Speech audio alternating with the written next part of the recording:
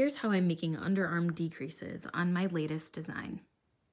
I'm knitting three stitches, then I slip one stitch, knit one stitch, and pass the slip stitch over. Then I knit until I have five stitches left. Then I knit two together and knit to the end. Now I've got beautiful right and left leaning decreases.